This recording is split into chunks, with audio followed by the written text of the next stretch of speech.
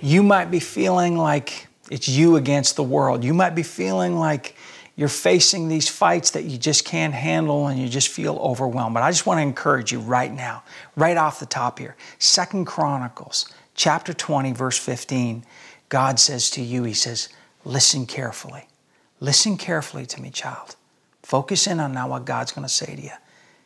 He says, He's with you. And He says, don't be afraid. Don't be dismayed. That means don't be agitated. Don't be discouraged. Don't be worried. He says, The battle does not belong to you, but the battle is the Lord's. He's going to fight for you. You know what you get? You get to have His victory. So let's just welcome the Holy Spirit to help us. We're talking about United. We're on United Part 2, and this is going to be so exciting. This is for you. You're right at the right place at the right time. Holy Spirit, help us. Lord, open our hearts to receive your word, your incorruptible seed. And Lord, may it bring forth life, life in Jesus' precious name. Amen.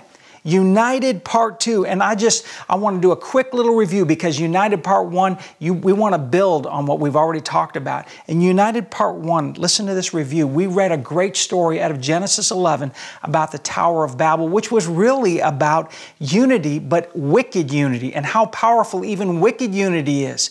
We learned that being united makes extraordinary power and unlimited potential available to us. But we also learned that there is a good unity and there's an evil unity, an evil alliance. The difference is the core values that steer the results. God's hand is moved to make supernatural results happen when we are united. But that begs the question around what? Jesus said this in Matthew 18 19. He said, If two of you shall agree on earth concerning anything that they shall ask, it shall be done for them by my Father who is in heaven. Pam and I, we have lived by that verse in our marriage because we realize as a married couple, we can agree. You know, in that word in the the Greek he, agree that we read there in the English really means to harmonize. It's not about sameness, but about harmony. And we talked about that in part one, and it was so exciting to realize that God isn't calling you to lose your identity, but He wants to give you your identity, to, to really bring it alive in the body of Christ. Remember, 1 Peter 5 says that the devil, the enemy, goes about like a lion, a roaring lion, looking for whom he can devour. You see, he cannot defeat you, but you can defeat yourself if you take his bait. He can't defeat you, but you can defeat you if you take his bait. His strategy is to use division to, to isolate you, to make you vulnerable. We want you blessed. We want you covered, healed, joy filled, strong, not condemned, but with confidence. You know, the Bible says the righteous are bold as a lion. Well, we want you walking in the righteousness of the King of Kings. Jesus' righteousness is bulletproof. We want you understanding God's word and His will for your life, walking in hope and faith in your heart so you can live life strong. That's right, that's God's plan for your life. So let's dig into part two here, where we're going to be talking about united in heart united in your personal unity. I know, isn't that amazing that you yourself can live divided or you can be united within the integrity of your own heart, mind, and soul? So important. Ralph Waldo Emerson, the famous writer and poet of the 19th century in America, said this quote, The reason why the world lacks unity and lies broken and in heaps is because man is disunited within himself. I think Mr. Emerson felt the weight of that experience personally. Now, little Andrew, on the other hand, he had a, a similar negative take on life as he sat at the table and his mom was telling him to eat his dinner. He frowned and he was sad, and finally he just said, You know what? He said, Salad is just ruining my life. ah, the brokenness of humanity. Salad is ruining my life. In this very important installment, part two of this series we call United, I want to take you to the critical aspect or perspective of your own personal state of being united. It's critical because your inner reality always becomes your outer reality. The invisible has power and ability to manifest in your life. Jesus said it this way He said, What's hidden will be made manifest. That's Luke 12, verse 2. What's hidden will be made manifest. That's coming from Jesus, the King of Kings. Now, that goes for whatever's good or for whatever's bad. Invisible stuff becomes visible stuff. That's why Jesus told us in Matthew 6, He said, Pray in secret, give in secret. He said, Love, forgive. Why? Because hidden stuff is planted stuff and therefore has the power to grow and multiply. But that also applies to, yeah, you guessed it, crazy stuff. That's why we need God's help. Jesus' blood to deal with our sin, our iniquity, the fractures, the brokenness of our life, our own broken experiences. Listen to me. What doesn't get repaired gets repeated, but at a new, amplified, and multiplied level. You know, if you take a seed and you hold it out of the ground in the light, it doesn't grow. But the moment you put it hidden in the ground, it begins to activate and grow. Those are the hidden things in your life. So, what's hidden in your life?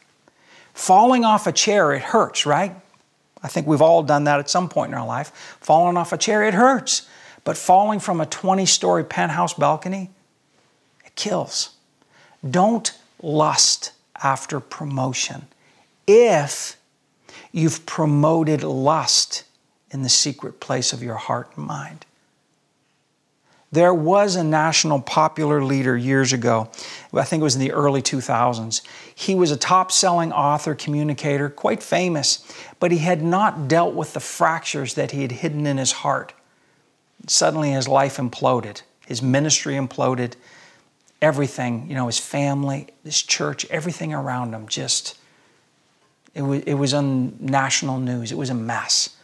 But why was everyone shocked that he fell? Why are we so shocked when the invisible overtakes the visible? When the seeds sown in secret suddenly grow overnight and produce? And that's for good things as well. The idea promoting unity is such a global theme right now. It's got cultural horsepower, doesn't it? And universal acceptance to be any kind of ambassador of unity. After all, unity is the panacea for the modern culture. That's just what we like to think. This is what we like to say, but we really don't define the reality of is it good unity or bad unity because there's both. Here's the bottom line though you can only give what you have. You can talk unity, but if you're fractured internally, you're really an agent of division. Even when you're buzzing the talking points of unity on Facebook, I know. You see, you can't help it. You're divided, so you unconsciously try to divide until it seems like it's even your personal ministry. But I've got good news for you. Oh, yes. I'm here to bring the good news. God wants to heal you, He wants to repair you, He wants to unite your heart so that you can, look, so that you can lecture others on unity? No, no, no. So that we can learn from the giver of life, receive from the giver of life. Praise God. Psalm 86, verse 11. Listen to the psalmist. Look, look, listen to his prayer. It's beautiful. Teach me your way, O Lord, that I may walk and live in your truth. Direct and unite my heart solely, reverently to fear and honor your name. You see, it starts with sound teaching. The ecclesia of Christ, the church of Christ, should teach anointed, root growing, wall building, roof covering, protective, blessed truth, promoting God's way and God's kingdom. So you got to ask yourself, ask yourself right now, uh, with the Holy Spirit's help, let's just ask ourselves are we intact? Are you intact? Do you feel put together? Are you personally unified? Do you feel complete? After an accident or a traumatic event, you, you often hear people say this Are you okay? Are you all right? You know, sometimes adults who were traumatized as children, they don't even realize that they've been broken. The trauma is such a constant part of their life, the pain that they begin to normalize it. Broken, pain just becomes normal. You've heard people say, I, feel like I'm falling apart. I'm cracking up. My heart is broken. Some people are even diagnosed with split personality or multiple personality disorders. You don't have to be at that extent to still feel like you're falling apart, like you're a divided person. You may be a little bit like this woman, Janice, who once said this. She said, I stress about stress before there's even stress to stress about. Then I stress about stressing over stress that doesn't need to be stressed about. It's so stressful. That's a confession right there. It might be an admission that you are kind of, sort of falling apart on the inside. You can have a brand new car that looks like it's working perfectly, but when you get a chance to look under the hood and see that everything is unhooked, everything under the hood is disconnected. Look, I, am not a car expert by a long shot. Not at all. I don't have to be a car expert, though, to tell you and to know that no matter how put together that car looks on the outside, it's not going anywhere. We should never judge by the optics. The Bible says that man looks on the outside, God looks on the heart. That's in 1 Samuel. There was a humorous commercial years ago, financial planning commercial, and it had a young club DJ, and he had long dreadlocks. He had this biker beard, street clothes, and they cut off all of his hair, shaved his face, put an expensive suit on him, and placed him in an office as a qualified financial advisor, giving retirement advice to his clients. So he had memorized a few talking points, some investment jargon, and before and because of the context, the office and everything around, the clients really took him seriously. And finally, at one point, he kind of exposed himself, and they showed in the in the office room, in the boardroom, him as a DJ, like totally with long hair and jamming and playing this stuff. But you see, the bottom line that was being communicated in this commercial was that appearances can be deceitful. Make sure you have a certified, trained, qualified advisor, right? In other words, they were saying, what's really under the hood, it matters. It matters what's under the hood, even more than what the car looks like, than more than what the person's life looks like. What's under the hood is really the outcome of that person's life, the outcome of that car's uh, um, ability to operate. 1 Samuel 16 7, I kind of alluded to it, but listen to this. 1 Samuel 16 7. And this, by the way, was when Samuel was called to anoint David as king over Israel and he had bypassed David and gone on to all these older, stronger, taller, you know, good looking brothers. He kept bypassing. Even the prophet thought, well, surely it's got to be this guy. And finally, here's what Samuel hears from God 1 Samuel 16 7. For the Lord sees not as man sees. For man looks on the outward appearance. Oh, how true that is. But the Lord looks on the heart. Mm. God sees the secret places of our life. Never to shame us. No, not to shame you, but with the intent to heal, to repair, to connect, to help you, to get you operational, to get your identity fired up and working. My friend, if we were to look under your hood, are you disconnected, fragmented, unhooked? And if you are, get excited because God is the master human mechanic. God is able to make you entire. He's able to connect connect you, make you whole, to tune you up. He is able to unite your heart again so it's back to its manufacturer's standard of design and of perfection. God is the original human engineer. Oh my goodness, that's good.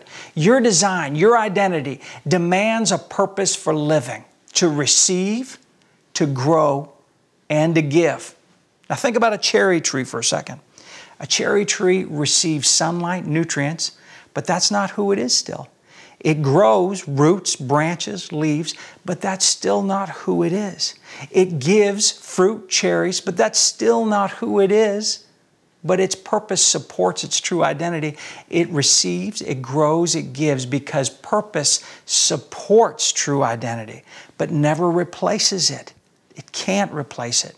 So if you're not fulfilling your true purpose in life, you live disconnected from your real identity. It doesn't mean that God doesn't fully, entirely love you. No, no, no, no. God dearly loves you and values you. Listen to this. Jesus said this in John 14, verse 1. He said this Do not let your heart be troubled or afraid. Believe confidently in God, trust in God. Have faith, hold on to, rely on God, keep going, and believe also in me. This is what Jesus said.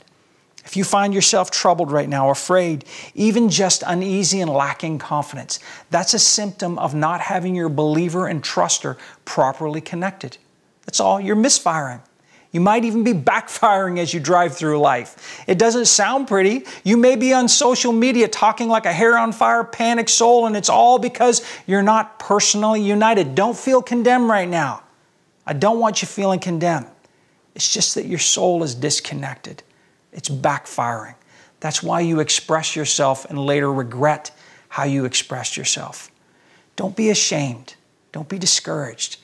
Even if you said something crazy and wish you could take it back, you truly are designed in the image of God. You really are made to win, born to win, and you just need to allow Holy Spirit access to your heart. He'll do soul surgery on the inside of you. Hey, even the most amazing, expensive sports car in the world would be going nowhere, sitting in the ditch, if you unhook the connection, the unity of its parts. So don't get all condemned and beat up on yourself. Personal unity is essential to operating fully at your design's potential. Simply put, you cannot fulfill your God given design and purpose without being personally united in heart. I got to come back to Psalms 86, verse 11 again. Let's read it again. Teach me your way, O Lord, that I may walk and live in your truth. You see, we can't walk and live in His truth without Him teaching us this way. Direct and unite my heart Oh, God, do it solely, reverently to fear and honor your name. Why is there so much dishonor in our culture? Because our hearts are divided, they're not united. We need our hearts united to fear and reverence the name of God. And if we don't fear and honor the name of God, we're not going to honor anybody or anything else. King David, the psalmist, went on in verse 12 and he said, Oh Lord, my God, with my whole united heart. You see, with my whole heart, people keep singing about my whole heart, but they have a divided, fractured heart. It's not holding water, it's not holding life. He said, I will glorify your name forever. But how? With a whole united heart. You see, we can't truly glorify God with half a heart, unhooked heart, with a fragmented heart. Why? Because it's not working. You're not going anywhere. That's why 3 John 2 says this I wish that you would prosper, be in good health. But listen, here's the punchline even as your soul prospers. If your soul is fragmented and fractured, how can you be in good health? How can you prosper externally if internally you're falling apart? Your life must unite, it must correlate. My friend, your inner reality always becomes your outer reality. When you're disconnected in heart, lacking personal unity of soul, you can't effectively unite with the rest of God's family. Oh, sure, you, you know, you're, you're loved, you're just ineffective. You're stalled. Your life is up on blocks. You may find yourself on social media along with all the other hair on fire people. If you find yourself in a coalition of accusation instead of a forum of praise, well, your life needs to be reconnected. This is why you're getting stuck in these places. You're getting stuck in social media because you're not connected properly. You need Holy Spirit. Look, I need Holy Spirit. We all need Holy Spirit to unite our hearts in the reverential awe of the living God. And if we don't do that, we can't hold honor. Look here at the extreme possibilities available to us when we are united with God's Holy Spirit. Listen to this, Ephesians 6:10. In conclusion, be strong in the Lord, be empowered through your union with him. Draw your strength from him that strength which His boundless might provides. See, even when we try to do things but that we're not fueled by the strength of the Holy Spirit, it becomes futile. Even you're trying to raise your children, and you have such a loving heart, you want to do the right thing, but you find yourself failing over and over and over because you're trying to do the right thing without the right battery source, without the right power source. Holy Spirit wants to empower you to do the right thing. Because you know your inner reality becomes your outer reality.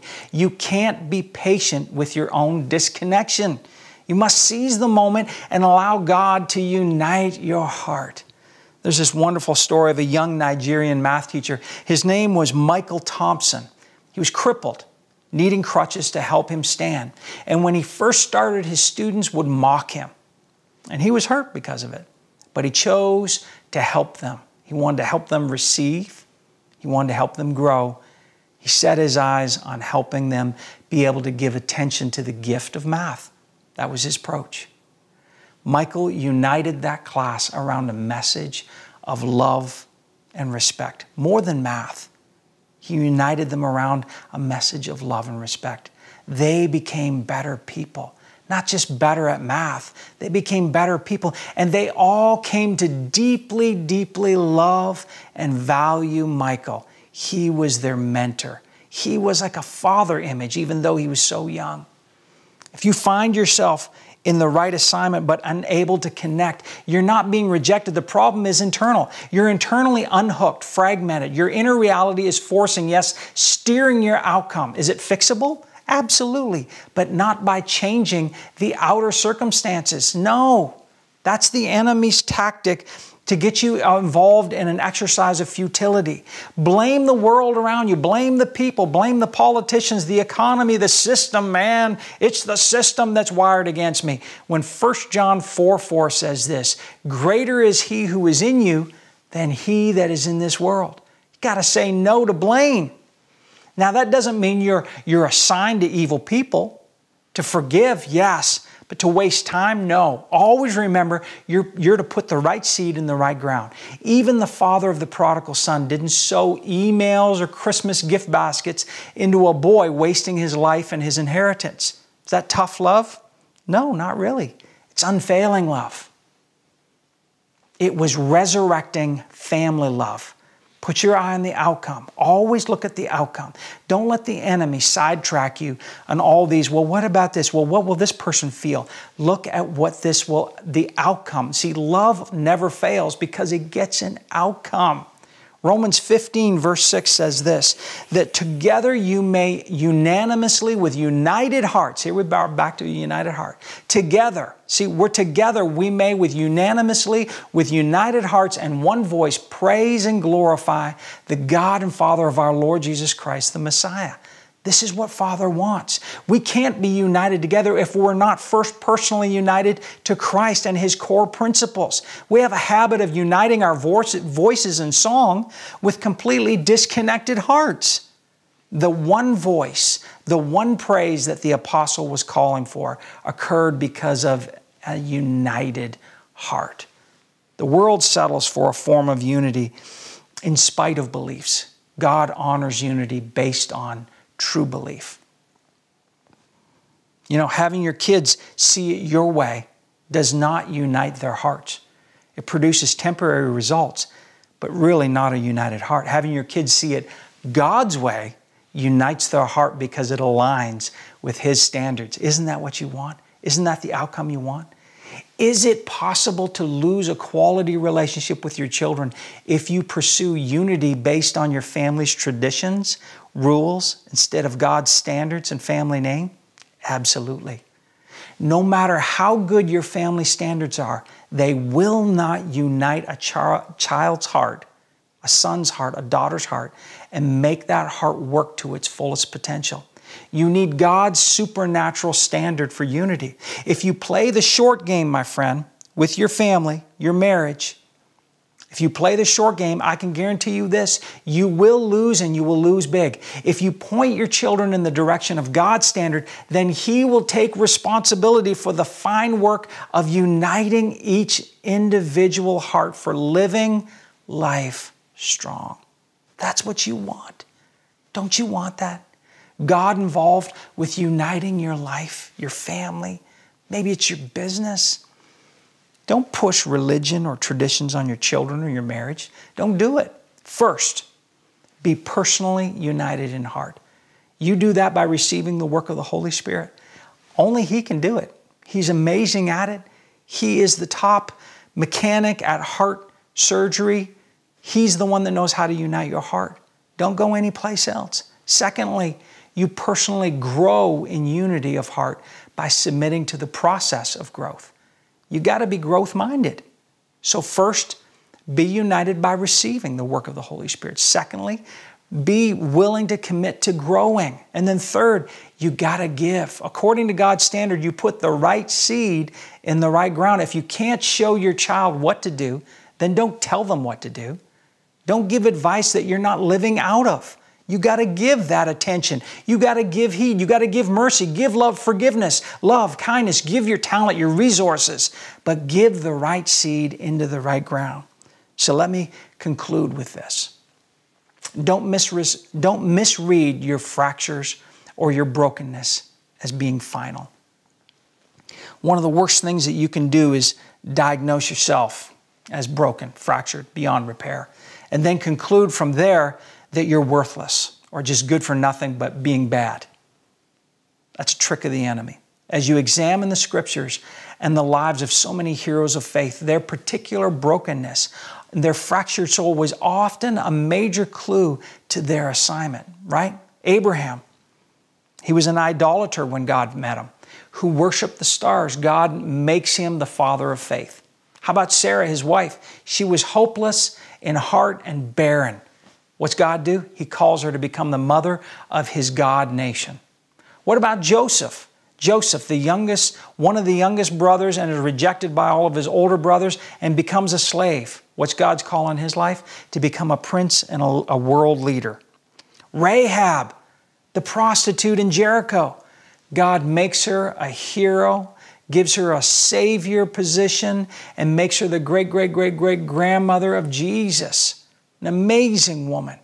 What about Esther? Esther is an obscure Jewish orphan in captivity.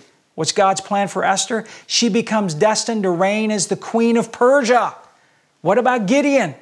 When the angel met Gideon, he said, What do you want to do with me? He said, I'm the least of the least of the least of the least. I'm no good for nothing. And God announces over him, He says, You are a great and valiant warrior, an amazing man. What about Paul the Apostle? His name used to be Saul, and he was known for torturing and tormenting the church, for putting men and women and children in prison. Children, too. What happened to Paul? His name got changed from Saul to Paul, and he became a builder and even a martyr, laying down his life for the church. I'm telling you, my friend, Satan likes to wound you where he thinks you'll be effective in defeating him. So, why does God use your brokenness? Well, because God is able to turn the curse into a blessing for you. Quickly, just listen to this 1 Corinthians chapter 1, verses 27 to 29. But God has selected for His purpose the foolish things of the world to shame the wise, revealing their ignorance. And God has selected for His purpose the weak things of the world to shame the things which are strong, revealing their frailty. And God also selected, deliberately chose what in the world is low-born and insignificant and branded and treated with contempt, even the things that are nothing, that he might depose and bring to nothing the things that are, so that no mortal man should have pretense or for glorying and boast in the presence of God. So I want you to consider your assignment right now. You're called to greatness as a child of God. Oh, but Pastor Stephen, I, I struggle with this. I struggle with that. I'm, you really don't know me, Pastor Stephen. I'm a mess. Well, let's say you struggle with lying. Maybe you struggle with being deceitful. My friend, I can tell you this you are called to carry the truth of God's word. Let's say you struggle with being faithful, even loyal. My friend, you are destined to live a faithful life, to be known for your loyalty. Maybe you're struggling with coveting, envy, even materialism. You're assigned to be an amazing giver in this life, to help others, to help the poor. God has a powerful call on your life. He wants to make you royalty and give your life power and authority so that you can be a blessing to others.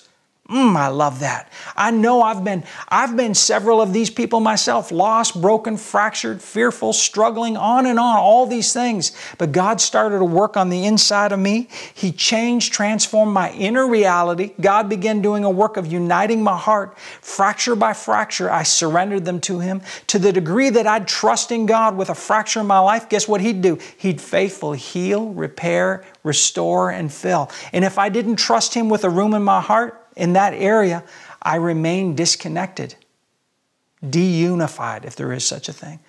What do you want, my friend? You can do this slowly or quickly. You can have it all or you can have just a little. What do you want?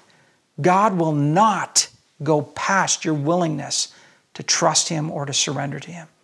Judas died fractured, stuck in his lust for money and position. It wasn't God's plan but he wouldn't let Jesus help him. Let God help you right now.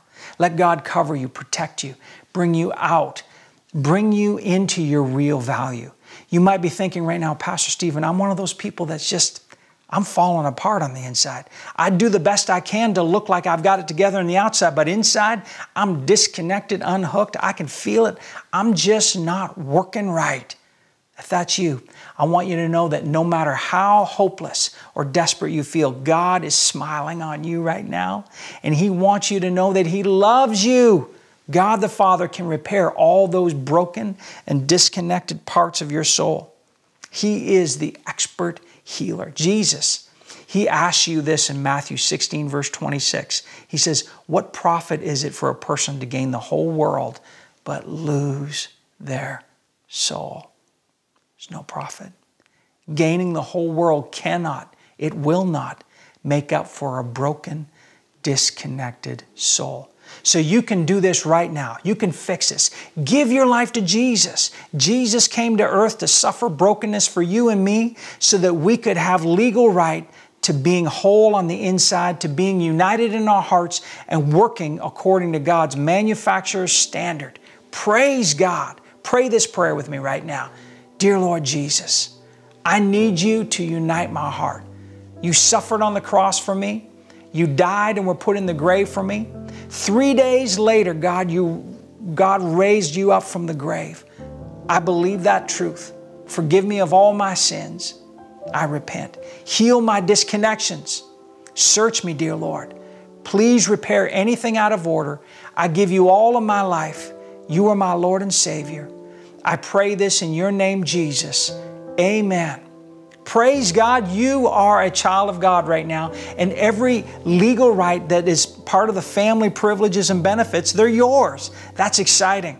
You need to keep receiving, growing, and being fruitful by giving. That's the manufacturer's standard for your life. You're born again to win, and you're healed to live life strong.